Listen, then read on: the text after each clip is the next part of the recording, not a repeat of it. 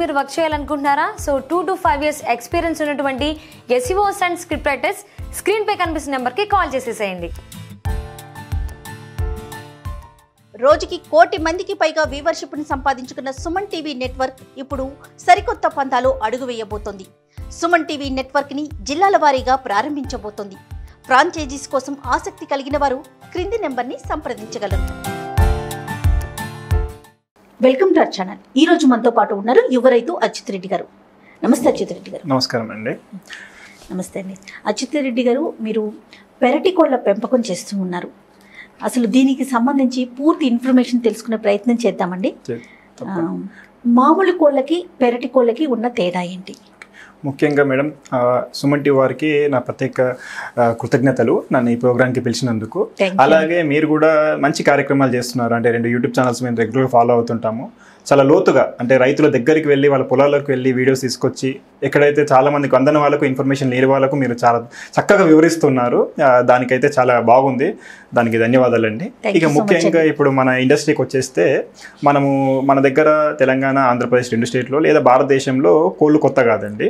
So ముఖ్యంగా చాలా మందికి బ్రాయిలరు లేయరు అంటే తెల్ల కోళ్ళు అని మనం అనబడి తెలిసినట్టే ఈ పెరటి కోళ్ళు కూడా చాలా వరకు తెలుసు. వాటిని వాళ్ళు నాటుకోళ్ళు పెరటి కోళ్ళు ఇలా లేకపోతే వేరే బ్రీడ్స్ తోని గిర్రాజా వనరాజా కూడా మనం అంటూ ఉన్నాం అనమాట ఈ ముఖ్యంగా వచ్చేసి ఈ బ్రాయిలర్కి లేయర్కి అయితే కొదవ లేదండి అది ఇంటిగ్రేటెడ్ ఫార్మింగ్ పెద్ద పెద్ద కంపెనీస్ ఉన్నాయి కాబట్టి వాళ్ళు చాలా చక్కగా ఎస్టాబ్లిష్ చేసుకొని చేస్తున్నారు. ఇప్పుడు ఒక పది సంవత్సరాల నుంచి మనము ఈ నాటుకోళ్ళని కూడా ఇండస్ట్రియలైజ్డ్గా చేయడానికి ప్రయత్నిస్తున్నాము. అదే రైతులు కూడా చాలా మంది అవగాహనతోని గుడ్ల పెంపకం లేదా కోళ్ళ పెంపకంలోకి ఇండస్ట్రీకి వస్తున్నారు అనమాట సో ఇప్పుడు ఈ పెరటి కోళ్ళు అనేటిది ఏంటిది అంటే ఈ కలర్స్ బర్డ్స్ లెక్క మనం ట్రీట్ చేస్తాం. కలర్ బర్డ్స్ అంటే వైట్గా ఉండకుండా మనము కలర్ఫుల్ వెదర్ ఫెదర్స్ ఉంటాయి. వీళ్ళలో బ్రీడ్స్ ఉన్నాయి. ఒక ఎనభై రకాల బ్రీడ్లు ఉన్నాయి అనమాట మన స్వదేశీ దేశీ బ్రీడ్స్ ఉన్నాయి. కొన్ని సంకర జాతులు అంటే క్రాస్ బ్రీడ్ కూడా ఉన్నాయి అనమాట ఎందుకంటే మనము బిజినెస్ పరంగా ఆలోచిస్తే మనకు కోళ్ళు ఎక్కువ ప్రొడక్షన్ ఇవ్వాలి. అంటే ఒకటి వెయిట్ దగ్గర అయినా గుడ్ల దగ్గరకైనా అంటే బిజినెస్ పరంగా. అందుకోసము దాని తగ్గట్టు రైతులు కానీ లేకపోతే గవర్నమెంట్ కానీ సంకరణ జాతులను కూడా అభివృద్ధి చేసింది అనమాట అంటే ఇంటర్నేషనల్ బ్రీడ్స్ లేకపోతే ఎక్కువ ప్రొడక్షన్ ఇచ్చే బ్రీడ్లను తీసుకొచ్చి మన దేశీ వాళ్ళ కోళ్ళతోని సంకరణ పరిచి ఒక మంచి అభివృద్ధి చెందిన కోళ్ళు కూడా మన దగ్గర కొత్త బ్రీడ్ తీసుకొచ్చి వాటి ఫార్మర్స్ అందించడానికి మంచిగా ట్రై చేస్తున్నారు అనమాట ఓకే అలా. సో ఇప్పుడు రైతులు అనే వాళ్ళు మేము మేము కూడా ఏంటి అంటే ఇవి ఏదైతే దేశవాళీ కోళ్ళు ఉంచుతున్నామో. అలాగే సంకరణ జాతులను కూడా తెస్తున్నాం అన్నమాట ఓకే తెచ్చి వాటిని మంచిగా మనము మన పద్ధతి అంటే పద్ధతి నాటుకోలు అనే పద్ధతి అంటే నాటు అనే పద్ధతిలో మనం ఈ కోళ్ళను పెంచేసి. ఫ్రీ రేంజ్ చికెన్ ఫార్మ్స్ మనము ఎస్టాబ్లిష్ చేసాం అనమాట ఇప్పుడు నాటుకోళ్ళు అంటే జనరల్గా మనం ఇంటి దగ్గర ఫ్రీగా వదిలేస్తాం వాటిని. ఇప్పుడు బ్రాయిలర్ కిను నాటుకు అదే కదా తేడా అవి ఎక్కడైనా తిరుగుతాయి ఏదైనా తింటాయి ఆ టైంకి చక్కగా ఇంటికి వచ్చేసి మనము గంప కింద పెట్టేస్తూ ఉంటాం మరి మీ మెథడ్ ఎలా ఉంటుందండి సో ఇప్పుడు అదే అండి ఇప్పుడు మనము ఇంట్లో పెంచేది ఏంటి అంటే ఒక రెండు మూడు లేదా ఒక పది వరకు పెంచుతాం అనమాట. ఎందుకోసం అంటే వాటికి ఎక్కువ రిస్క్ మేనేజ్మెంట్ చాలా తక్కువ ఎంచుకోవడానికి పాడి. పరిశ్రమలో యాక్చువల్గా మన వ్యవసాయంతో పాటు పాడి కూడా ఉంటుంది. దాంతో పాటు కోళ్ళు కూడా. మిళితమై ఉంటాయి ఆవులు గేదెలు ఎలా ఉంటాయో ప్రతి ఇంట్లో ఒకప్పుడు ఇప్పుడు ఉన్నా లేకపోయినా కూడా కొంచెం తగ్గినా కూడా కోళ్ళ పెంపకం కూడా అలా జరిగిపోతూ ఉండేది. అదేదో స్పెషల్గా చేస్తున్నాం అన్న ఫీల్ ఉండేది కాదు. కొన్ని సంవత్సరాల నుంచి మనం బ్రాయిలర్కి అలవాటు పడిపోయాం. అంటే ఇంటి దగ్గర పెంచే వాళ్ళు తగ్గిపోయారు. సో ఈ నేపథ్యంలో మీరు స్పెసిఫిక్గా ఇలాంటి కోళ్ళని తీసుకొస్తున్నారు కాబట్టి అసలు ఎలాంటి జాగ్రత్తలు తీసుకుంటారు? ముఖ్యంగా ఇప్పుడు మా మీరు అన్నట్టు సాంప్రదాయం వెళ్ళిపోయి కొంచెం చేయడం మానేశారు అనమాట. చేస్తే ప్రత్యేకంగా చేయవలసి వస్తుంది అనమాట. అయితే ఈ కోళ్ళని కూడా వీళ్ళు చాలా మంది ఇదే డౌట్ని అంటే పెరటి కోళ్ళు కావాలి అనుకునే వారి కోసము వాళ్ళని మబ్బి పుచ్చడానికి వీటిని ఫామ్లో పెట్టేసి బాయిలర్ కోడి మాదిరినే పెంచడం స్టార్ట్ చేశారనమాట ఒక పదేళ్ళ నుంచి జరుగుతున్న తంతు అనమాట ఈ దీన్ని పోగొట్టడానికి పెరటి కోళ్ళని పెరటి కోళ్ళ లాగానే పెంచాలి. అందుకోసం ఎక్కువ ప్లేస్ అవసరం పడుతుంది అనమాట అంటే ఎక్కువ స్థలాన్ని కేటాయించాల్సి ఉంటుంది. ఎందుకంటే మనం ఊర్లో అంటే వదిలేస్తాము మళ్ళీ వస్తాయి. కానీ ఇక్కడ పొలాల్లో ఒక వెయ్యి రెండు వేల కోళ్ళు పెంచేదానికి మ్మ్. మనము తగు జాగ్రత్తలు తీసుకోవాలి. ముఖ్యంగా స్థలాన్ని ఏర్పాటు చేసుకొని దానికి ఫెన్సింగ్ వేసుకోవాలి కోళ్ళు బయటకు వెళ్ళకుండా మ్మ్. మేము అలా ఫెన్సింగ్ వేస్తాము. ఇప్పుడు ఒక వంద కోళ్ళు తీసుకుందాం. కోళ్ళు. దానికి ఒక లెక్క ప్రకారం మనం మాట్లాడుకోవాలంటే ఎంత స్పేస్ కావాల్సి ఇప్పుడు ఉంటుంది ముఖ్యంగా మనకు ఈ వంద కోళ్ళకి కూప్ అంటే రాత్రి వచ్చి పడుకోవడానికి మాత్రము మనకు వంద స్క్వేర్ ఫీట్ల స్థలం సరిపోతుంది. షెడ్ అది ఉండడానికి. బయట తిరగడానికి మనకు ఇరవై గుంటల ప- స్థలమైనా లేకపోతే పది గుంటల స్థలమైనా ఉంటే ఏంటి అంటే వాటి న్యాచురల్ ఎక్స్ప్రెస్ చేసే థింగ్స్ ఉంటాయి కొన్ని. అంటే వాటికి ఎగరడం కానీ కట్టెల మీద కూర్చోవడం కానీ డస్ట్ బాత్ చేస్తుంది సన్ బాత్ చేస్తుంది లేకపోతే స్కావెంజింగ్ ఆహారాన్ని అన్వేషించుకొని తింటాయి. మన కోళ్ళు ఏం చేస్తుంది? వెళ్ళేసి తవ్వుకొని పురుగులని వామ్స్ని అవును. బగ్స్ని తింటా ఉంటుంది అవన్నీ అవి ఎక్స్పీట్ చేసేటట్టు మనం బయటకు వదిలేయాలన్నమాట. ఎంత జాగా ఎంత ప్లేస్ మనకు ఉంటే అంత మంచిది అనమాట అది మనం కేటాయిస్తున్నాం ఇక్కడ మన న్యూట్రిఫ్రెష్ ఫామ్లల్లో. రైతులకు కూడా సజెస్ట్ చేసేది ఏంటి అంటే పెరటి కోళ్ళని పెరటి కోళ్ళలా పెంచితే వాటికి డిసీజ్ రెసిస్టెన్స్ ఎక్కువ ఉంటుంది Hmm. ఇమ్యూనిటీ పెరిగిపోతుంది రోగాలు తక్కువ వస్తుంది. మంచి natural గా వాటికి న్యూట్రిషన్స్ వస్తుంది ఎగ్స్ కైనా మీట్ కైనా. సో అలా అలా పెంచితేనే వాటిని పెరటుకోళ్ళు అంటారు. లేదా మళ్ళీ అవి కూడా కలర్ బర్డ్స్ బాయిలర్ అవుతాయి అనమాట అవును. మ్మ్. ఇప్పుడు మనం తినేటప్పుడు కూడా బ్రాయిలర్ కన్నా నాటుకోడికి ఎక్కువ ప్రిఫరెన్స్ ఇస్తాం తెలిసిన వాళ్ళు ఆ టేస్ట్ తెలిసిన వారు. ప్రైస్ వైజ్గా చూసుకున్నా కూడా కొంచెం మనం ఎక్కువగానే ఉంటుంది ఈ ఎందుకని మనకి ప్రైస్ ఎక్కువగా ఉంటుంది? మనం నార్మల్ పీపుల్కి రీచబిలిటీ ఉండాలంటే ఎట్లా అంటారంటే పరిశ్రమకి ముందుకు రావట్లేదా పబ్లిక్ చేసేవాళ్ళు? ఇప్పుడు మనం ఏవైతే బ్రాయిలర్ కోళ్ళు తీసుకున్నారు అనుకోండి మేడం మీరు బ్రాయిలర్ కోళ్ళు అయితే ఏంది అంటే నలభై రోజులలో రెండు కిలోల దగ్గర వెయిట్ దాకా వచ్చేస్తాయి అనమాట అంటే ఒక చిన్న పిల్ల. కొన్ని గ్రాములు ఉన్న కోడి పిల్లని వాళ్ళు రెండు నుంచి మూడు కేజీల వరకు తీసుకురాగలుగుతారు. అదేంటి అంటే జెనెటికలీ మాడిఫై చేశారు. అంటే తప్పు ఏం కాదు చేస్తున్నారు. వాళ్ళు ఒక scientific గా చేశారు అనమాట దాన్ని. ఈ పెరటి కోళ్ళు ఏంటి అంటే మినిమం మూడు మూడు నెలలు పడుతుందండి. అంటే తొంభై రోజుల వ్యవధి పడుతుంది ఈ కోళ్ళు. ఒక వన్ కేజీ వెయిట్కి రాడికి అనమాట పోషించాలి. పోషించాలి టైం పెడుతున్నాము మళ్ళీ వెయిట్ తక్కువ వస్తుంది ఇక్కడ రెండున్నర కిలోలు ఎక్కడ ఇక్కడ కిలో ఎక్కడ. సో రేట్ అనేది మన ప్రొడక్షన్ కాస్ట్ టైంకి మనం ఇచ్చే వాల్యూ అన్నమాట. Yes. సో అందుకోసం ఇది ఎక్కువ ఉంటుంది. అయితే మీరు అన్నట్టు రేట్ తగ్గిద్దాము అన్న ఉద్దేశంలో వీళ్ళు ఏం చేశారు? ఇదే సేమ్ దానా వేసేసి ఇదే యాంటీబయాటిక్స్ స్టెరాయిడ్స్ హార్మోన్స్ ఎక్కువగా ఇంజెక్ట్ చేసేసి ఈ కలర్ బర్డ్స్ని ఆ వేడి వచ్చేటట్టు త్వరగా వచ్చేటట్టు చేసేసి మార్కెట్లో అమ్ముతున్నారు అనమాట అలా తినడం వల్ల మనము ఏ Ah. ఏ తిన్నా పెద్ద తేడా ఉండదు అనమాట సో దాన్ని పోవాలి కాబట్టి మేము స్వచ్ఛంగా వాటిని నే- పెరటికోళ్ళని పెరటికోళ్ళ పద్ధతి అదే మన ఏవైతే పూర్వీకులు చేశారో అదే విధంగా చేయడానికి ప్రయత్నిస్తా ఉన్నాం. ఓకే ఫుడ్ విషయంలో ఎలాంటి జాగ్రత్తలు తీసుకుంటారండి? ఇప్పుడు మనకు ఎలాంటి జాగ్రత్తలు తీసుకోవాలి అసలు రైతులు? తీసుకోవాలి. ఇప్పుడు మనము ముఖ్యంగా వచ్చేసి చాలా మందికి బిజినెస్ పరంగా అంటే కోళ్ళను పెంచితే బిజినెస్ పరంగా ఏంది అంటే దానా అనేది అతి ముఖ్యమైనది. అంటే కోడికి పడే ఖర్చు ఒక ట్వంటీ ఫైవ్ పర్సెంట్ అండి. కానీ దానా అనేది నిత్యం. Mm. కోడికి రేట్ డిసైడ్ చేసేది కూడా దానానే. అయితే ఈ ఇప్పటి వరకు చాలా మందికి ఉండే ఏంటి అంటే కోళ్ళు ఏదేసినా తినేస్తుంది అనే ఒక ఉద్దేశం ఉంది. ఎందుకోసం అంటే మన ఇంట్లో మీరు చెప్పినట్టు పది కోళ్ళు ఉన్నాయి అనుకోండి అది రోజు తిరిగి వస్తుంది. కొంచెం ఏదో మనం నూకలు. కొన్ని ధాన్యాలు ఏవో వేసేసి వేస్తాం అది తింటాయి. ఎందుకంటే వేరే సప్లిమెంట్గా మిగతా అది బయట తినేసి వస్తుంది సో అలా చేస్తుంది. అదే ఇక్కడ ఫామ్లో ఏమవుతుంది అంటే లిమిటెడ్ రిసోర్సెస్ ఉంటాయి. మీరు ఒకటే ప్లేస్లో ఒకటే స్థలంలో ఎన్ని రోజులు దింపినా అక్కడ ఫుడ్ అయిపోతుంది అన్నమాట అందుకోసం ఏంది అంటే కోళ్ళకు వాటికి కూడా న్యూట్రిషన్స్ కావాలి. ఆ న్యూట్రిషన్స్ కావాలి అంటే ఒక ఫార్ములా ఉంటుంది అనమాట అంటే ఒక కోడికి ఎంత న్యూట్రిషన్స్ కావాలి? ఒక ప్రోటీన్ ఎంత కావాలి? దానికి అమినో యాసిడ్స్ ఏమైనా కావాలి? కాల్షియం అతి ముఖ్యమైనది. గుడ్డు కోసం అది కావాలి. ఇవన్నీ. కావాలి అనుకున్నప్పుడు ఒక చార్ట్ రెడీ చేసుకొని Hmm. వాటికి మేత వేయాలి. ఇప్పుడు ఈ మేత వేయడానికి మనము ధాన్యాలు ఫామ్ రెడీ చేసుకోవచ్చు. లేదా గ్రీన్ని మనము ఎక్కువగా ఎంకరేజ్ చేస్తే వాటి కూడా చాలా హెల్తీగా న్యూట్రిషియస్గా ఉంటుంది అనమాట ఓకే. హెల్త్ పరంగా ఇంకేమైనా కేర్ తీసుకుంటారా? వీటికి ఇంజెక్షన్స్ కానీ లేకుంటే ఏ విధమైన వ్యాధులు రాకుండా ముందుగానే టీకాలు వేయించడం కానీ ఇలాంటి కేర్ తీసుకోవాలా నాటు వాటికి? ఇప్పుడు నాటు కోళ్ళకు అంటే మనకు జనరల్గా ప్రాబ్లం ఏంటి అంటే ఎక్కువగా చుట్టుపక్కల ఫార్మ్స్ ఎక్కువైపోయి అవి ఎక్కువ ఓవర్ క్రౌడ్ అయ్యేసరికి రోగాలు ఎక్కువగా వైరస్ అనేది ఒకదాని ఒక స్ప్రెడ్ అవుతుంది. మనం బయట ఫామ్లలో ఏం చేస్తారంటే ఈ టీకాలు కంపల్సరీగా వాడతారనమాట అంటే మనం ఏదో పోలియో వేస్తాం కదా అలాంటివి వేస్తారు. సో వేయడంలో తప్పేం లేదు. ముందుగా వాటికి వ్యాక్సినేషన్స్ వేయడంలో తప్పు లేదు. కానీ తదు తరువాత జరిగే ప్ర- పరిణామాలు ఇబ్బందికరంగా ఉన్నాయి. ఎందుకోసం అంటే వాటికి రోగాలు వచ్చినప్పుడు వాటిని త్వరగా మానిపేయడానికి. అంటే జనరల్గా మనకు జలుబు చేస్తే మనం కూడా టాబ్లెట్లు వేసుకోవడం స్టార్ట్ చేస్తున్నాం కోళ్ళకు కూడా సిఆర్డి లాంటివి వస్తాయి అనమాట అవి త్వరగా తగ్గడానికి ఇంజెక్షన్స్ ఇస్తున్నారు అనమాట ఓకే. వాటిని సరిగా ట్రీట్ చేసి పసుపు లేదా తమలపాకు ఇలాంటి ట్రీట్మెంట్స్ ఆయుర్వేదిక్ ట్రీట్మెంట్స్ చేస్తే వాటికి ఒక. వారము పది రోజులు తగ్గిపోతుంది కానీ అలా తగ్గి అలా వారం పది రోజులు కోడి మెత్తగా ఉంటే వెయిట్ తగ్గొచ్చు లేదా గుడ్లు రావనే ఉద్దేశంతో ఒక్క రోజులో తగ్గడానికి వీళ్ళు ఇంజెక్షన్స్ ఇవ్వడం జరుగుతుంది అనమాట సో అది ఇవ్వకూడదు మనం ఏంటంటే న్యాచురల్గా ట్రీట్ చేస్తే ఒక. వారం రోజులు వాటిని సిక్ రూమ్లో పెట్టేసి మనం ట్రీట్ చేసుకుంటే మనకు ఆరోగ్యంగా ఉంటుంది కోడి మనకు కూడా తింటే హెల్తీ అది.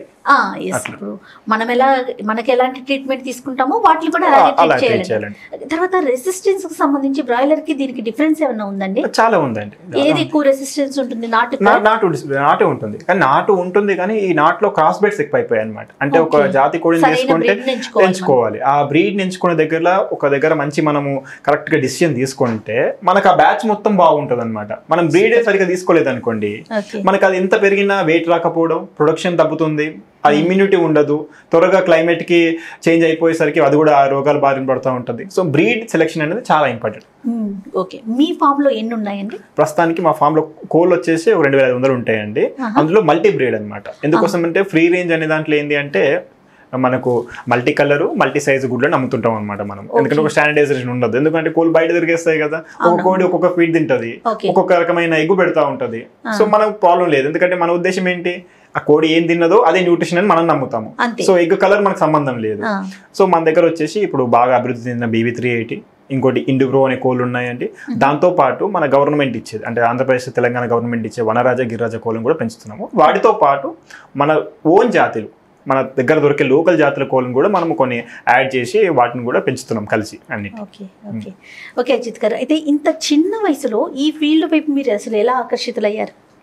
నేను అసలు అసలు బేసిక్గా ఏం చదువుకున్నారు? నేను గ్రాడ్యుయేట్ అండి ఇంజనీరింగ్ ఎలక్ట్రిక్ ఇంజనీరింగ్ గ్రాడ్యుయేట్ చేశాను. సో నేను థర్డ్ ఇయర్ ఉన్నప్పుడే ఇండస్ట్రీకి వచ్చేసాను అనమాట ఓకే అంటే నేను నా సొంతంగా నేను అనుభవించింది అనమాట అంటే ఫుడ్ మనం ఇంత అథ్లెట్ ఆమె అసలు అథ్లెట్ సో నేను రన్నింగ్ చేస్తూ ఉంటే నాకు ఆహారం లోపం వచ్చింది అనమాట అంటే ఎక్కువగా అలసిపోవడము త్వరగా చెమట రావడం ఇదంతా అనమాట ఎందుకోసము అంటే మీరు ఏం ఫుడ్ తింటున్నారో అడిగారు అనమాట డాక్టర్ ఒక డాక్టర్.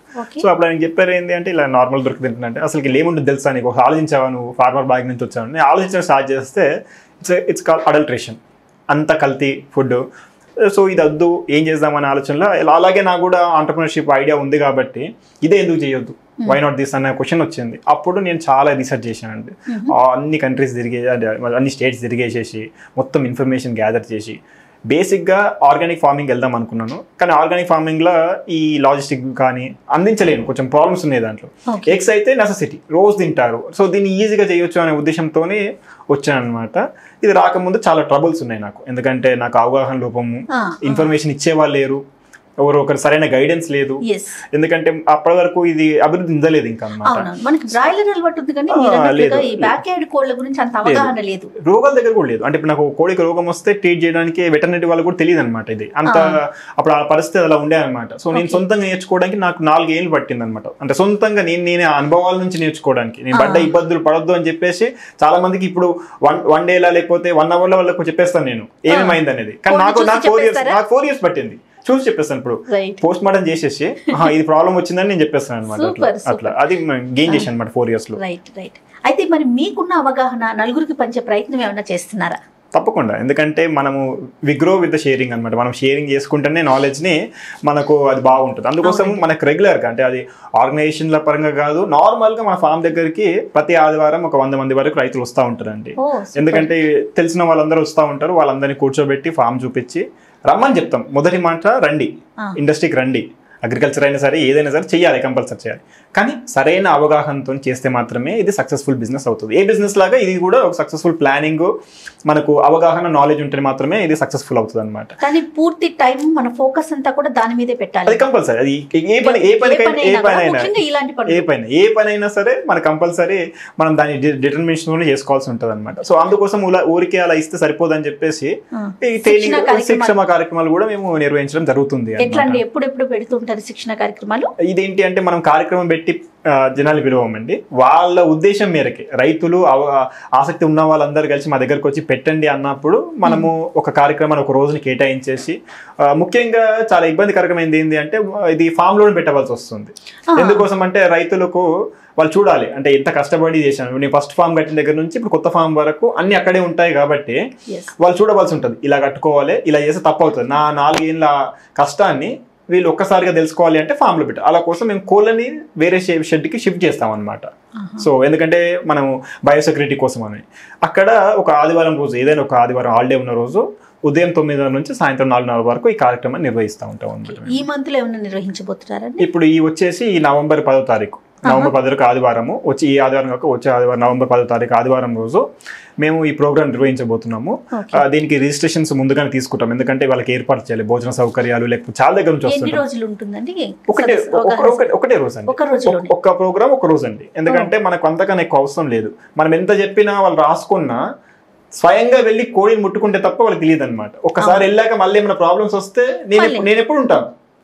నేను ఎప్పుడు మీకు ఫోన్లో అవైలబుల్ ఉంటాను? రమ్మంటే వచ్చి కూడా చూస్తాను. ఎందుకంటే ఎంకరేజ్ చేయడానికి చాలా మంది రావాలి ఇండస్ట్రీకి నేను పడ్డ బాధపడదు ఎందుకంటే నేను ఒకసారి కోడి చనిపోయాను నా దగ్గర. ఎందుకు చనిపోయేదో నాకు అర్థం అవ్వట్లేదు. నాకు తెలియదు కాబట్టి అది. నేను ఎవరిని అడిగినా వాళ్ళకి తెలియదు. అప్పుడు మెడికల్ షాప్ ఓనరే కెమిస్టే డాక్టర్ అయిపోయాడు అనమాట అంటే ఇస్తారు వాళ్ళు అది. వాడేస్తే అది కూడా ప్రభావం లేదు. ఎందుకంటే అతను కూడా తెలియదు అనమాట. సో ఇప్పుడు ఆ కష్టం పడొద్దంటే నేను ఉన్నాను కాబట్టి మీరు ఒక నాకు వాట్సాప్ ఫోటో పంపించినా నేను వాళ్ళకు సలహా ఇచ్చేస్తున్నాను అనమాట ఇది చేయండి. పెంపకం దగ్గర నుంచి దాని ఈల్డ్ దగ్గర నుంచి ఎగ్స్ దగ్గర నుంచి ప్రతి దాంట్లో మీకు పూర్తి అవగాహన. మార్కెటింగ్ వరకు కూడా.